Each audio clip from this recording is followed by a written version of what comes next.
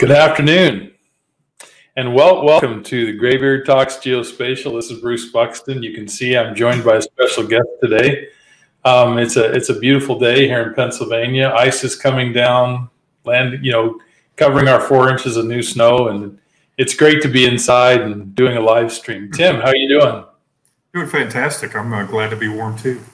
Yeah, what's been going on, after being what's going on here in Texas, I was out of power for about two days.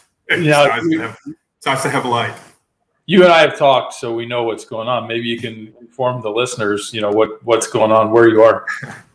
Well, I'm in the uh, Dallas Fort Worth area, and uh, you know, so we had all the storms that came through. I didn't realize it was national news because we didn't have power, so I couldn't watch anything. But uh, our power went out at 9 a.m. Uh, on Monday, and we didn't get it back till uh, 4 a.m. yesterday. So uh, we had to go find a hotel. We actually slept. I thought it'd be like camping, you know, like oh, it'll be nice, we'll cozy up. I've never been so cold in my life, so. we had and but the thing about hotels around here was that's what everyone else was doing too so there was i think over a million people that didn't have power in texas uh, and we were one of them so uh, but it's nice to have it back Well, good, good, and you're, now you're i back. can really appreciate yeah i mean i think if they're calling my phone company just thanking them for making sure the lights turn back on Yeah, that- fantastic. It's nice to be back home, though. I think you were you were just telling me that it's a great feeling to walk into your home and the, the heat's been on and it feels good, huh? exactly yeah all the things you take for granted now you're like oh man i'm gonna Yeah. I'm gonna The only think about this this is this is nice yeah, you know what? I just was thinking about this a minute ago. The only thing, the only problem with the time that we're doing this live stream today is that this is the the landing of the Perseverance on Mars, mm-hmm. and they're live streaming it on YouTube. And I could, I could, uh, I tried to, I, I pulled myself away from the live stream to be able to talk to you. So hopefully, there'll be a recording on YouTube that we can watch Perseverance. Right. that's right yeah Yeah, neat, neat stuff. Actually, really neat Love it. stuff. So Love hey, that before we get going today, um, I want to just say to the to those who are listening who've joined us, thank you for coming and thanks for listening in again. Um, I would appreciate it if you tell your friends about the live stream. We're doing it every Thursday, uh, four Eastern, uh, one Pacific. Topics on uh, GIS and GIS integration, geospatial topics of all kinds. Um, I'm joined by Tim today because Tim is uh, a recognized kind of influencer in that space. Um, you know, you put yourself out there, Tim, um, Yeah. especially especially on LinkedIn. Try to use the platform to do a lot of networking and professional development. And so, a lot of our discussion today is going to be talking about that uh, type of thing, about you know what you're doing in, in that in that realm. Um, so, um, I want to just mention to the listeners too, to those, please I, I won't have any visibility into where you're, who you are and what you're, and, and who's listening, who's watching, unless you put something in the chat. So please put something in the chat so I know you're live and we can see who's out there and who's watching. Um, so Tim, uh, really quickly, just summarize, just tell, tell me who, tell me what you do, who you work for and what your connection to GIS is. Okay, well, I'm a, a, a longtime uh, local govy. I've worked uh, for Collin County for, I'm afraid to say, you know, 29 years or going on 29 years. It seems like a long time, but it's been a, an adventure every day. Enjoyed. Before, before we go on there, let's just stop right there because in one of our back and forths, you you had said something that maybe we should have a, a great uh, a uh, a beard maintenance uh, class Yeah, yeah. or something like. Beard So- maintenance tips. Yeah, I condition you- every day, so uh, You and I are you and I are definitely in the graybeard um, Yeah. part phase of our careers and phase of life, and so it's really it's good to welcome a true graybeard. Anyway, so ah. No, I'm sorry that I, I interrupted you on that. Go ahead and continue on your. on Well, your yeah, clearly my beard was not gray when I started, but uh, uh, even going a little farther back, I, I became a geography student. And, uh, and I'll tell you a quick little story about my dad. Uh, he got, uh, I, I, I took my first geography class and loved it. This has got to be it. This is something I want to do. And I wanted to embrace it, so I quit my job waiting tables at a local Italian restaurant. And my dad yelled at me for it. It's like, why on earth would you quit a good paying job like that, you know, to go after this geography thing? and uh, and I happened to take the very first class the University of North Texas ever taught in GIS, and that's when the light bulb went off. I'm like, oh my gosh, I think I could get a job with a geography degree. You know, I think this is something I can do, and I loved it. And uh, I uh, I had my first job, which was you know it's in fact it's my Twitter moniker. It's uh, uh the plot boy, and uh, and for those of us with gray beards and and maybe a little grayer hair, or that have been around for a while, the first plotters before they had these nice inkjets they have these days were pen plotters, and my job was to basically make sure the black ink didn't run out of the pen plotter. It only had four pens and it would draw around. So my job was just to stop the printer, change the pen, and put it back in. And I thought, well, this is probably not what I want to do for the rest of my life. And Collin County uh, had a position open, and they wanted five year five years experience uh, in GIS, and I had four months as the plot boy, but I applied anyway. So that, that that's advice I'm giving you right now go for it, right? Apply for the job, even if you don't think you're qualified for it. Because certainly I was not. Uh, and they hired me. Uh, yeah. And it wasn't it wasn't until I worked there five years that I finally went to my boss. And I go, you know, I now finally have the qualifications of the job I've had for five years. I finally now have five years experience in the position because oh, I wanted to hire you the whole time. So, uh, uh, and then we've done. I so I guess through the years, uh, I started off as, you know, basically unboxed GIS. Uh, we had uh, RS/6000, it was Unix box. We had ArcInfo 5.1, 5.1 is when we started. So uh, uh, we've gone a long way. And, uh, and since then I became, I got promoted, I suppose. Now I'm the applications manager. So I have the GIS group with me, but yeah. I also have records management, which I thought was weird when it happened, and application development. And, but, but records, you know, uh, where I used to think it was just a warehouse full of boxes. It's actually the most ripe to be automated, right? You, we can digitize all those things. It's all public record, and we can kind of turn it over to our citizens. So that's been some of the most rewarding stuff we've done. Is, and really, uh, kind of doing record stuff. And really, one of the primary functions of county government, really, when you look at it, is to keep those records and to make sure those records are relevant. You know, and, and that's probably where that where the spatial aspect comes in because there's so so much of what the county has to do in the work has to do with where things are. Yep, absolutely. I mean, you know, I mean, a lot. I mean, I know a lot of cities do this. We've we've done this, uh, you know, for some of our building permits and things like that. So, I mean, it, and what I've learned, you know, was learning that things are spatial in nature, right? I mean, I, I hear this quote all the time. I don't know where the site is, but you know, all, all 80% of all data is, you know, spatial or has location. I, I agree with that, but I'm still finding myself after all these years still telling people that you know, like you know, these permits have a location, right? I mean, you know these, you know, where these uh, where your road development is, you know, where you know it's still, you know, often in our places people are working off spreadsheets and things like that. Where you know, it's it's made very easy when you introduce GIS to some of these departments. They're like, oh my gosh, this is so much easier. It makes so much more sense now and uh, and that's what makes my job so fun is because there's still we're still teaching folks about this even after all this. Amazing, isn't it? You unboxed yeah. unboxed GIS 25 years ago, and here you are still touting the value of of, right. of, of GIS throughout the county organization. I, I, I stalked you a little bit on LinkedIn, and I, I I saw your headline. And those of you who who are using LinkedIn, you know that the headline is really important because every time that you comment or you put yourself out there. Your headline, you, your picture and your headline are the two things that show up. So Tim's headline says, blurring the lines among applications development, records management, and GIS. And when I read that, what I hear is here's someone that understands the role that uh, spatial or the location plays in all of those different areas. Like, do you have any examples in your work of how you've been able to say I'm going to take my spatial orientation I have and I'm going to apply it to a traditional problem that we have at the county. Absolutely. I mean, we when we do uh, again, this is kind of pre-COVID, but we used to go and have advocate meetings. So there'd be a, a core group of senior management that would go talk to different uh, departments throughout the county. It kind of like help us help you kind of thing.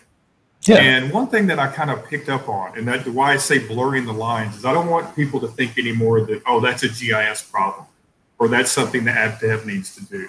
It's it's all of it. You know, it's the whole applications. It's more of a solution. So now when we talk to folks, you know, they, you know, they don't have to know what GIS is. They just know, boy, it'd be nice if I had something to do, you know, as they describe what their problem is. So I'll, I'll give you the, the uh, one example was um, uh, uh, our, our adult probation. They used to go out with those. Remember the wheel. There was like a wheel, like a big wheel that you would walk. It would be like a, a distance, measuring the distance. As an old, as an old paving contractor, I yeah. we used to use those to come up with our pay when we want we needed to get paid by the linear foot. So yeah. Make a couple circles. I, I got you. Uh, no, well, this person would have to get a security detail, and then she would take that wheel and drive. You know, like walk it because if, if you had to place somebody that uh, was that that let's say they were a sexual predator, well, they couldn't be. You know, and that's people we deal with in, in local government because it's all courts related stuff. Well, they can't be within a thousand feet of a, of a school or a church or places where children congregate. So she would wheel that thing out and it would take hours. And she kind of asked you, like, is there any better way? Like, of course there's a better way to do that. yeah. How long have you been doing this? And we were able to make these. In fact, it was we made the maps for her pretty quickly, and then we just said, "Here, you do it. You can make it as often as you want." And we gave her kind of a web app where she can build it herself. And that right. was just one of those like, I can't believe I've been doing this all this year, and, and you can actually put like now that you don't have the security detail, that's money saved. You know how many hours it takes that you can now do in seconds. That's money saved. You know, so those are ways that you can kind of show this sort of return on this investment. But yeah, I thought that was the most brazen uh, example of you know why how we can use this kind of thing. And it was just it was as a result of one of those meetings, getting out of your office and going talking to those that that need help, and they may not even realize you could do a thing like this until you talk to them because they'll never know. That's been our biggest issue. Just you know, at least in GIS, this has been my full experience. All of my experiences, nobody knows what we do, so they don't know to ask us to do challenging work. So it's up to me and you, Bruce, and, and whoever's watching. You need to go out there and tell them what you're capable of doing and prove it to them as a solution uh, instead of waiting for them to tell you, because all they're going to tell you to do is make a map. And you got to well, be able to say that you can do a lot more. Right. They're, they're going to want you to print them off a map so that they can use all the traditional ways that they deal with a paper map to do their job, right? But you can say, well, this isn't just a map, right? So right. there's there's data, there's digital things here that live underneath this map, and we can use that data to solve problems in an automated way, right? I mean, the, there, I have two immediate examples right now. So a, a, year ago, probably right about now, about this time, you know, we all had to respond to COVID, and we, we you know, we did our you know proverbial dashboard like everyone else. We were kind of feeding, but because we had application development as part of my group, we had this full, you know, this uh, you know, we had to figure out how to capture. We had to build basically a COVID case management system. Okay. And part of that was, well, where are they? I mean, are they in Collin County or are they in the city? Because then once you started doing dashboards, well, our cities wanted to know how many cases do I have inside my city? So we had to build in a, a geocoding effort inside the application so then we can show where you could click your city and see the cases that you have within your city. Uh, also, you can see the entire cases of the county. Yeah, um, you know, we talked about this yesterday. I think this is fascinating because normally when we talk about geo enabling a process, a business process of some kind, the, that's kind of code for I'm going to put a map in this somehow. Mm-hmm. Put a map in this, but in that instance, you're talking about being able to do these geo processes behind the scene right. that that the map never even shows up. Essentially, mm-hmm. right, and that's the and that is the case where we you know we had to pivot now to vaccines. You know, we're we're struggling, and I imagine it's all over the country. Uh, that you know, we have a lot of demand for people that want the vaccine, the COVID vaccine, but there's not enough vaccines to give. So one of the things we decided to do really at, at the beginning of January is build a wait list, you know, and let people sign up. And uh, and part of that was now we have city partners that work that they're working off our wait list. So the county has this master wait list that we give McKinney or Al or, uh, or Wylie or some of the our you know even some of the hospitals. They scrape from our list you know, so it's kind of like a line wait, like a butcher. You know, if I'm waiting in line, you know, with my number, but we have these folks in order, and it was really important to do that. So our app dev team was real strong with this, but we also had to add that spatial component. because Plano wanted to reach out to their citizens saying that the vaccine is coming. So give me everyone on your list that lives in Plano, not just the zip code of Plano or various zip codes of Plano, but the, are they in or are they out? And uh, and so that's just part of what it is that we do. And you're right, Bruce. That didn't that there was no map required here. It was just something that was uh, easily you know that we can easily do.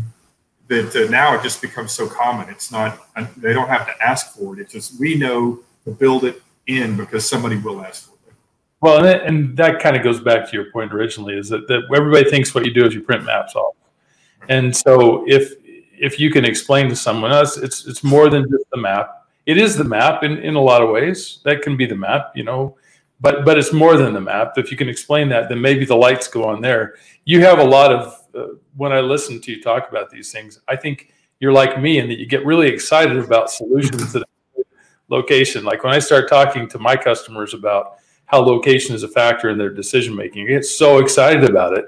Um, do you find that um, you're the lone, you're kind of the lone voice in your county, or have you been able to inject that location enthusiasm to other people? You know, not maybe not even GIS people, but people throughout the county. Have you been a, successful doing that? Yes. Okay. I, I will say yes. I've been successful doing that, but I think it's because of my longevity you know, over time, this has happened. You know, uh, and what, what's really what's really beautiful about working at a place for a long time is you see you see it growing. You know, so I, I, I like I worked with the adult probation folks. Well, now the DA saw what we did for the the adult probation. Like, well, I want something like that, and they would they would ask, you know, that we would have to solve their problem. Like one of their problems is they want to know which city has the most caseload? Well, give us all your data and we'll, we'll, tell you. I mean, it's it's that easy. We'll make a little dashboard for that.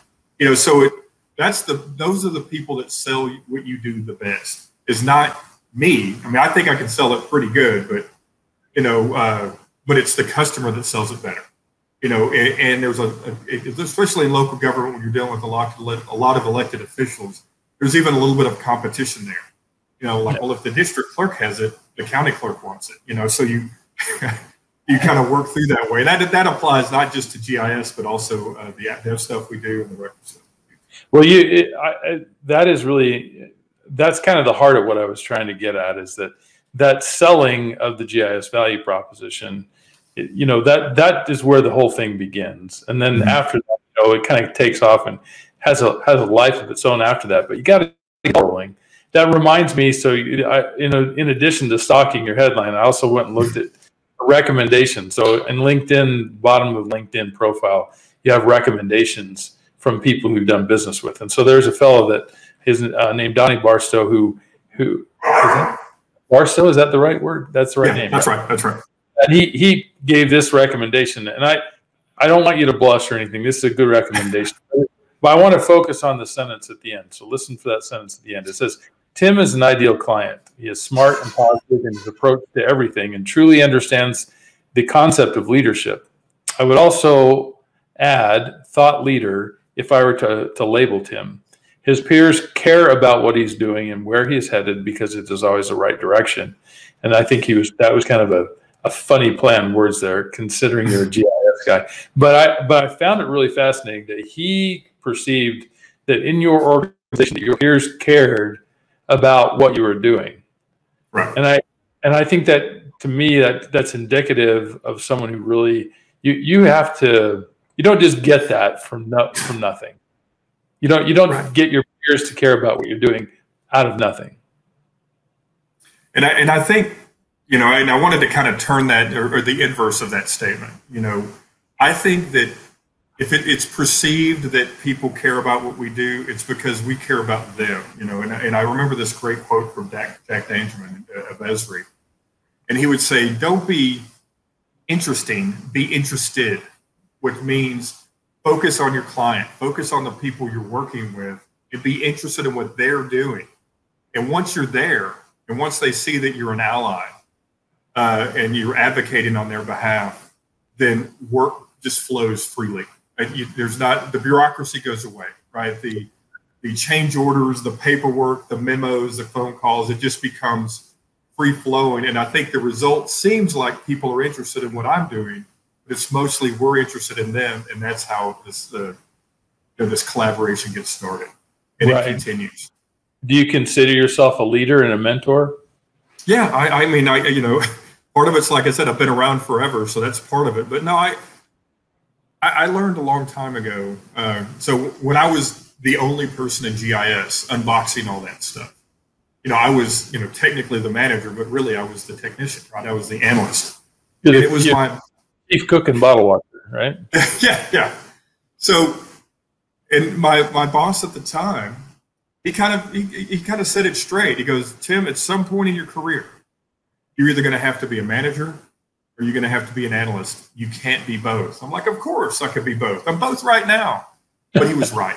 Now he's yeah. right. You can't you can't really commit to both equally. You have to make a decision. And so right then, when I when it finally dawned on me that that, that was a, an important statement and that I probably was going to take the management vector, uh, I knew that I would have to hire people a lot smarter than me. And that's really been my goal is to bring in folks that are way better at this stuff than I ever was because it only makes it better. You know, I think we were joking a little bit yesterday. You know, uh, I often hear that, oh, you know, oh, you're overqualified. You know, if somebody came to my, you know, if somebody appeared to be overqualified for a position we had, I would hire them immediately because I want it. I want that full experience that they have. You know, we, we've had PhDs that have been interns for us, and I'm totally okay with that. You know, because they chose to kind of work for Collin County, so they made the decision. Right, I didn't go recruit them; they came to me, and then we we ended up hiring them, and they have a lot of experience that we could benefit from. So we have all kinds of you know interns, you know, uh, types of interns that we've had. But anyway, the point I'm trying to make is it, it, you know, I, I always try to hire smart people. And, and, and these days, everybody's smarter than I am. So it, it's, it's pretty easy, but, uh, but it's, I, it, you know, but it's hard if you're new to management, right? If you're new to management, it's hard to let go of, well, you know, I do it this way. You know, at some point, you really have to make a clean break and go, you've hired smart people to do this job. Let them do their job. They're yeah. good at it. Yeah, they are. That, and that's a, I think that's the the hallmark of a good leader. Uh, Mike just commented. He said he liked the the interested rather than interested. yeah. And Mike does that really well. Mike works with Critigen, and he talks to customers all the time about geospatial value, and that's one of the things I think he does really well. Is he's interested in in the customer, mm-hmm. not necessarily about telling the customer. So that's a good comment.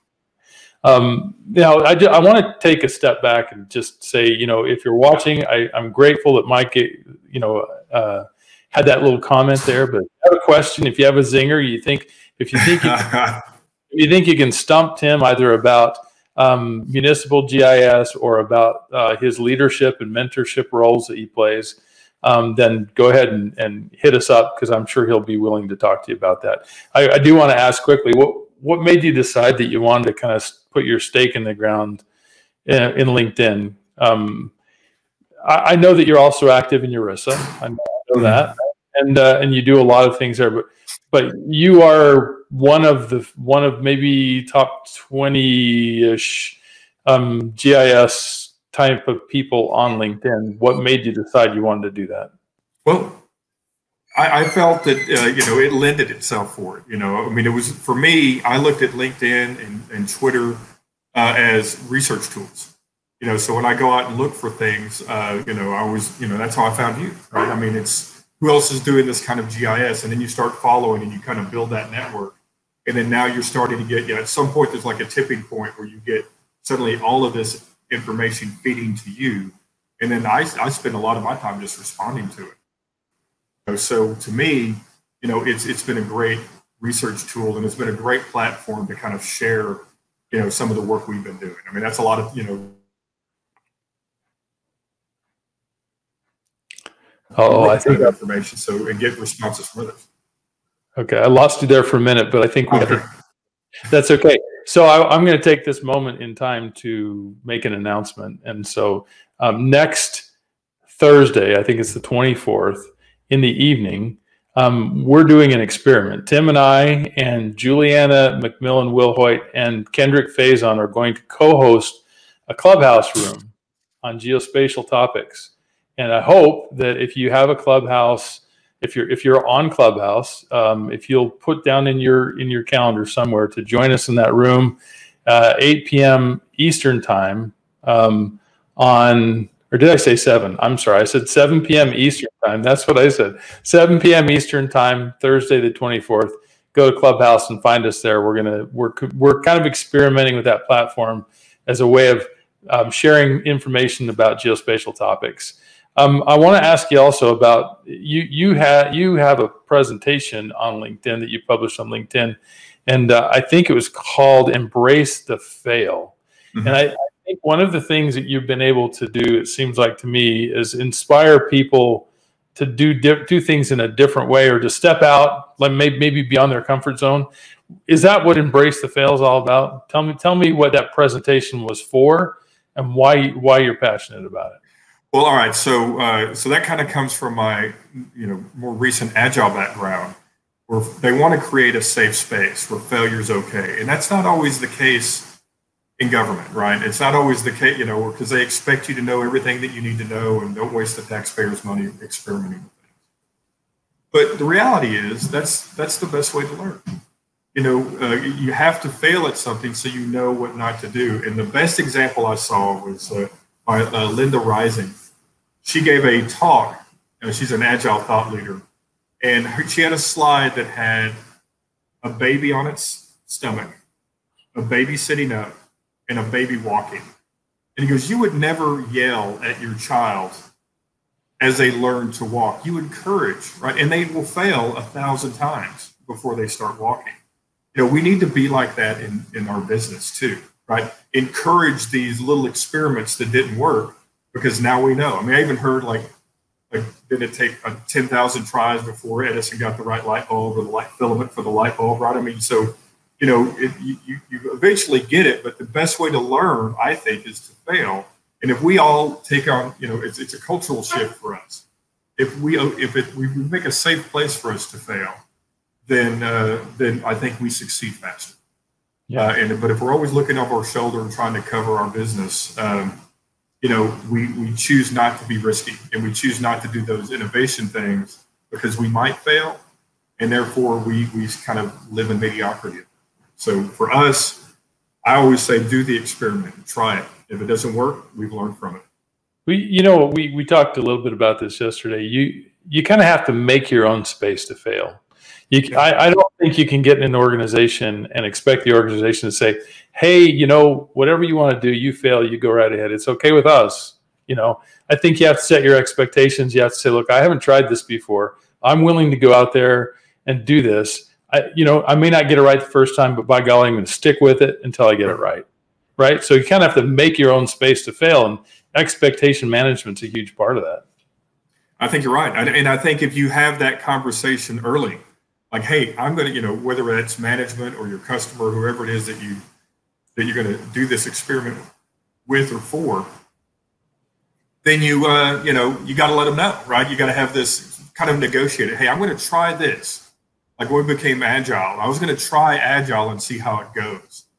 You know, agile is more of a mindset than a thing, but uh, you know, but you know, once you say it like that, then you do kind of create this space that allows allows failure to happen or know that it's not going to be perfect the first time. Absolutely. And part of being and part of being agile is just improve the next time, right? Just keep continuous improvement. You know, you'll never hit perfection, but you can always strive for it. And uh, and that's kind of how and failing is part of that. Yeah, yeah, that's interesting. When you, I haven't thought about agile as a as organized failure, right? And I'm, I'm as we're talking about, I'm thinking, well, the whole agile methodology is about well, let's show you what I've got. And then you tell me where it doesn't quite fit the bill. Mm-hmm.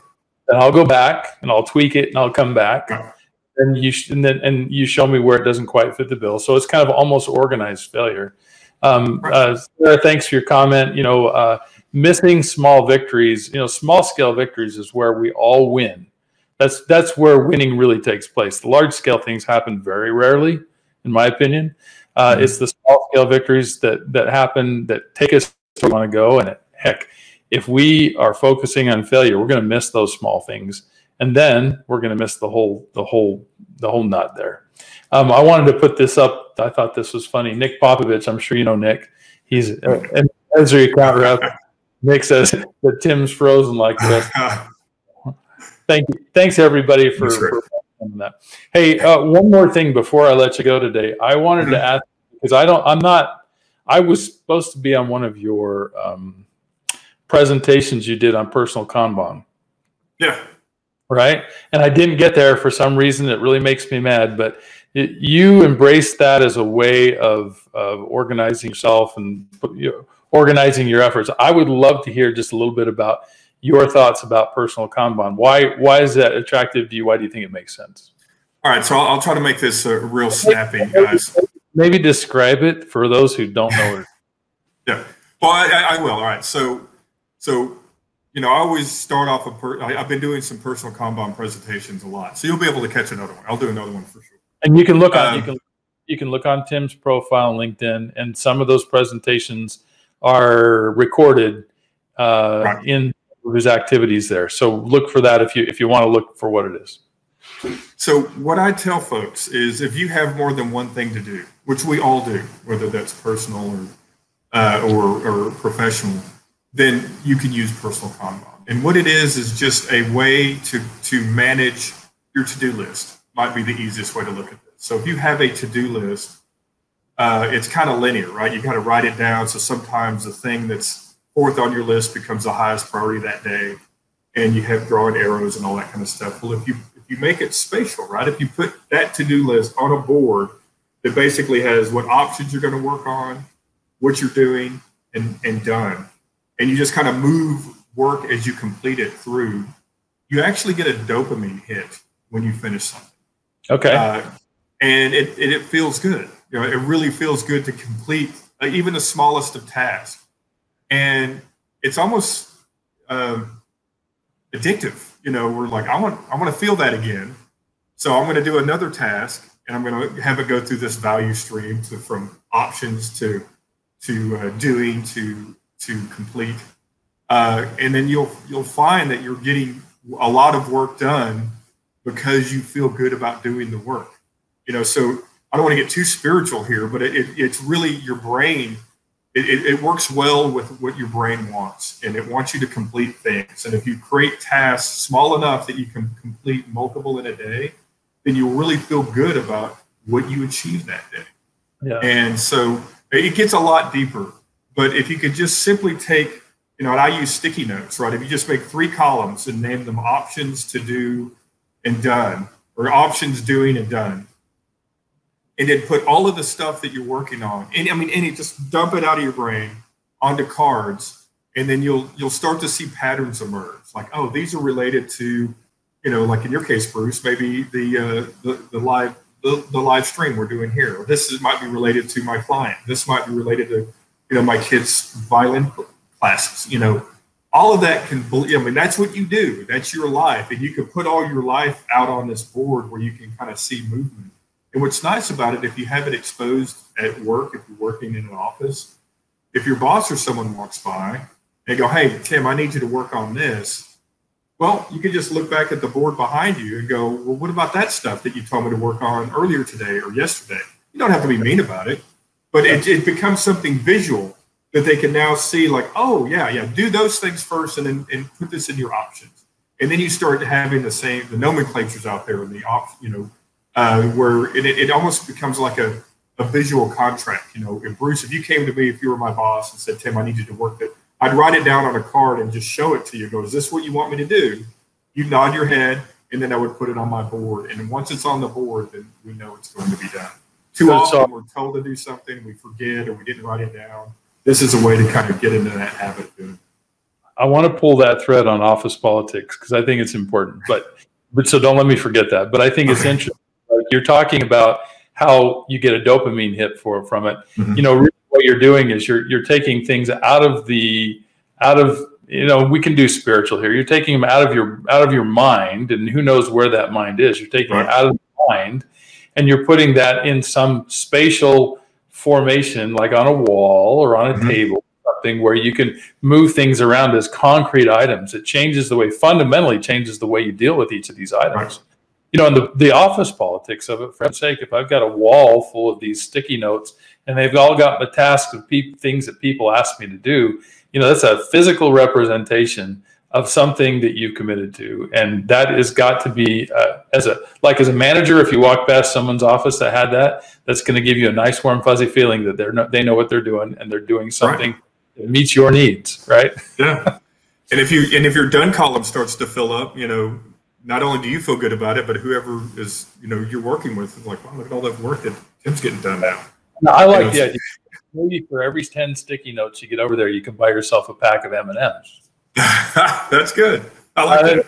That's motivating for me anyway. So, so look, I, you know, I, one of the things I'm getting from this conversation I, that I really like is that, you know, as an influencer in, in this, well, let's just go back. Your job is you're working, you work as an applications manager for a county mm-hmm. and you, you take GIS and records management and, uh, and application development, you put it all together into one job but you've also been able to extract yourself from that and say hey i've gained a lot of experience over the years mm-hmm. and put that out for other people to help other people i think that's just fan- fantastic it's really it really makes me admire you because you don't have to do that right you don't it's have the favorite it's my get, it's the, go ahead i'm sorry you're going to get paid the same if right, you sat right. top office in collin county or if you went to urisa meeting you're going to get paid the same no matter what mm-hmm it's the favorite part of my job now. I mean, you know, like it or not, I'm wise because just I've been around so long, you know. So I, I love sharing some of that wisdom, uh, just things that like, and I don't even regret. Like, man, I wish I knew personal Kanban 15 years ago. It doesn't matter. I've learned it now, and it's helping me now. Uh, you know, so then I can just share it with others, and if it helps them, you know, great. You know, when I go you know, we are talking about me blending all of my department, you know, all my teams together. I, my job is just to sell the team. I'm not doing any work anymore. The teams do all the work, right? They're the smart ones that get things done. It's my job to help. I think what what you need, we can help you. Yeah. And and it's just you know, I, I feel like I'm a more of a diplomat, uh, you know, than I am a, a, you know a manager. You know, it's just kind of getting out there and and, and just getting to, to know the business and how we can help them. Uh, you know solve some of their hard problems. Well, you're making a difference in Collin County and beyond Collin County. And I actually I was going to show this comment. Sarah Sarah says she, she saw that presentation and started using Kanban because of it. So so you probably don't know Sarah. Maybe you do. I don't know. But, looks, her name looks familiar. Yes. But I you know that that's so that's such a tangible thing of saying you know this one this thing I did has helped somebody in in their daily life and that that's got to be very gratifying. So I just want to I want to give you kudos, you know, and, and you're doing a great job. And I'm I'm glad that you and I connected this way, and hopefully we mm-hmm. can stay connected through the years. And you and I can do similar things. We can help people to do their jobs better. We can help, you know, we can help disseminate the idea that location matters for one, right? And then we can also just you know do do things to help people, other people, to get their job done better. yeah. love to do. Yeah, absolutely. Any last words of wisdom or anything you want to lay on before we go today? Well, I, I, said it a couple of times here, and, and and this is something that's really changed, you know, my life, even in my later years. Is it's okay to try new things, right? It's okay to experiment, you know, uh, to to just try it, you know, uh, and and you can do it in small doses, right? It doesn't have to be these big, bold failures, like like today, right? The, the Mars landing. We can't you can't just try that, right? I mean, that's one of those times where failure is not an option, really. But for most of us, it is, right? Failure, we can, you know, we can try little things. We can even do these things privately, uh, but you still need to try because you, that that to me is the quickest way to improve. And as long as you're improving each and every day, then you know you can't be disappointed with the way things are going. No, that's good. That's good advice. And I just I'm going to piggyback on what you said, though. You know that in terms of the perseverance, I, I was watching a thing a couple days ago about the design of the rover, right? And that they mm-hmm. went over and over and tried all kinds of different things until they got right. the desired result. So, so really, what we're seeing today with perseverance is perfection, right? It has to be absolutely perfect to do its job in the situation that they're asking it to do. But it didn't start out as perfection. It started out as a series of iterations and failures until you got to a place where you can put the stake in the ground and say, okay, now we're ready for perfection. Mm-hmm. So I think we should all kind of live our lives that same way. Very good, Bruce. All right, my friend. Uh, it's good to have you on, and uh, hopefully we can catch up again soon. And oh, we'll talk next week, right in Clubhouse. Next Thursday, 7 p.m. Eastern Time on Clubhouse. If you have an invitation, if you don't, let me know because I have an extra one, and I'm dying. To. I do too. I've got some invite next one. So let us know. And if you're a geospatial professional, you want to try Clubhouse and see what it can offer you. We're experimenting just to see how what, if it makes things better for everybody. So 7 p.m. next Thursday night, and then this live stream happens every Thursday, 4 p.m. Eastern, 1 p.m. Pacific time. You can do the math for the two time zones in the middle. And uh, and and we have interesting guests every week. And if you could tell your friends about it and invite people. It would be great to to continue to grow the audience. And uh, and I just want to thank Tim for being such a great guest. And we'll talk to you soon. Okay, my friend. All right. Thank you. All right. See ya.